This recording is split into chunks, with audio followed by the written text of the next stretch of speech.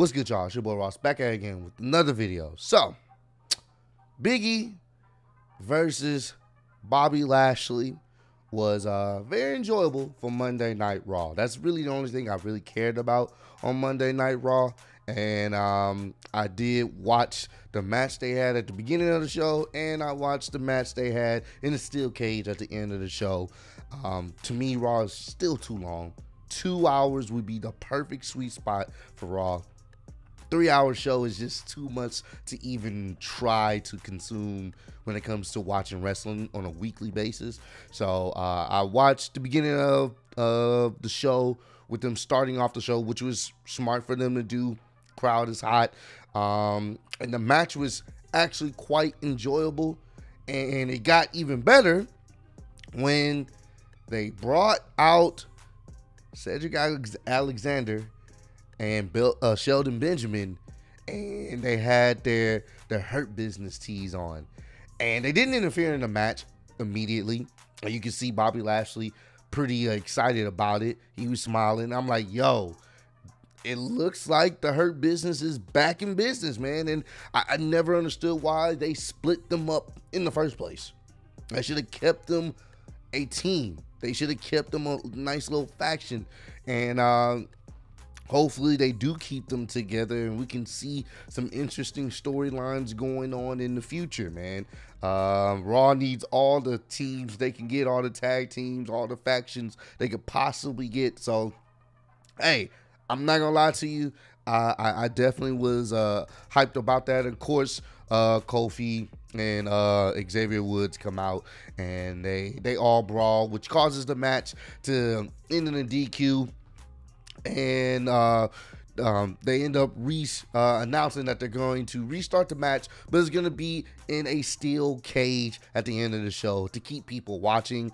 And uh, yeah, I didn't watch the rest of the show. I was just, you know, I just watched it, uh, watched that match, and then watched the the um, the last match or whatnot. Um, and when they started off the uh, steel cage match, um, of course, heel like tactics. Bobby Lashley attacks um, Big E before he even gets inside the steel cage, and they had another solid match within the steel cage. This this match alone definitely, I'm pretty sure, didn't see the rest of uh, rest of Raw. Definitely, probably enhanced the show. The crowd was into it. It was enjoyable. I was enjoying it for what it was. Very hard hitting. These guys worked pretty well together. Um, and it's cool to see the WWE Championship in a in a nice little program. Granted, Bobby Lashley has been doing his thing, you know, trying to bring some prestige to that belt, and uh, you know, I've been loving what he was doing as champion. But it's cool to see Big E get his shot at really carrying Raw on his back, and um, the right person won here with a nice ending. Um, a Big E sets up Bobby Lashley on the second rope and hits a big ending to end the match, beats him clean, which how it should have been. Notice how that second uh, turnbuckle did not didn't falter at the weight of both of those men, but Finn Balor it just fell apart at the weight of his demon presence, but not at the weight of two of those men. The, the second turnbuckle didn't break apart, but that's neither here nor there. But it was a good way to set up as Biggie as a legitimate champion that can hold his own. Doesn't matter who wants to fight him, where they want to fight him as. Biggie holding it down. Show's about to end, and then all of a sudden you see Drew McIntyre. His music hits. You see him at the top of the ramp. He has this nice sword, and he points at Biggie. He's like, "I want you next." Uh, I want to shout out the title. And I have mixed feelings about that. One, I don't want to see him in a title main event title opportunity since we've seen it so many times last year. Well, I mean, so many times this year. Um, I get why he would want a title opportunity because you know the stipulation with Bobby Lashley, as long as he was champ, he would never have a WWE title opportunity. Now that Bobby Lashley's not champ, Big E's champ, he wants a WWE title opportunity.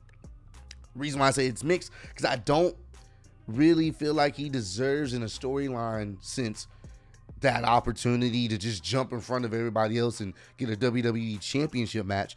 But at the same time, I do think the match would be good between these two guys. And the only way I really would be like okay with this booking wise is if one or two these things, well, one must happen. Biggie must retain.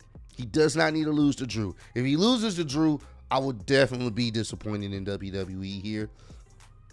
He needs to retain. If you're gonna have Drew versus Big E, you want to build build up Big E's title reign, have him beat Drew. And if that does happen, you could turn Drew heel. I think turning him heel may work in his favor because I don't think people are gonna really cheer for him because they want Big E as champ right now. Big E's the flavor of the month. They want him as the champ, and I think it works better if he's a heel here because they're gonna boo him anyway. I think the crowd fans are just still kind of not really wanting to see Drew like that, even though, even though he hasn't really been on television for a little minute, they still don't really want to see him like that, especially in no title picture opportunity. So I think you turn Drew heel, but you still have Bobby Lashley. I mean Bobby Lashley, uh, Big E retain the title. Now I can see them doing a couple matches with each other. I can see maybe the first match, you know, Drew McIntyre is not able to get the job done. And then he has to resort to heel like tactics to somewhat try to, or he, he, you know, he gets upset. He resorts to heel tactics because he's frustrated. He turns heel that way. Now, I did see reports, uh, someone has sent it to me, uh, that supposedly Drew was supposed to be facing Roman Reigns this Friday for the draft for the Universal Championship. Now, those cards are subject to, uh, they always say subject to change um, when they're announcing it for like stadium, like arenas and stuff. So maybe this could be one of those things. I just, it doesn't make sense for him to have a title opportunity at Roman Reigns on Friday and then have another title opportunity for Big E. So maybe maybe that that flyer that someone sent to me maybe they decided to go with this route i'm not sure i honestly think he needs to be on smackdown just for a change of scenery and they could actually have a feud with each other um, on SmackDown, uh, Roman and Drew. You know, I think that would be a, a, lot. That would be a little bit more interesting, in my opinion. But I do like the fact that they are trying to give someone strong for Big E to face, and Drew McIntyre is not a bad opponent. So I'm not sure which way they're gonna go here, to be honest with you.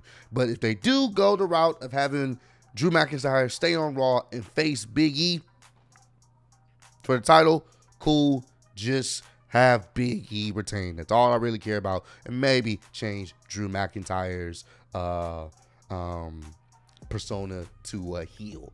I think that would be better. So comment down below. Let me know if you guys enjoyed Raw. Did you guys enjoy uh, the match between Big E and Bobby Lashley? Are you guys excited to potentially have the Hurt Business back together once again? And do you guys think Drew um should be facing Big E so soon, being back into the main title picture? Or would you guys prefer him to go to SmackDown and be in a main event title picture for the Universal Championship against Roman Reigns? I would like to get your thoughts and opinions on all these questions I just uh, uh presented to you guys. But I appreciate all love and support. Road to 60K. Appreciate y'all kicking in with me. I'll see y'all on the next one. Peace.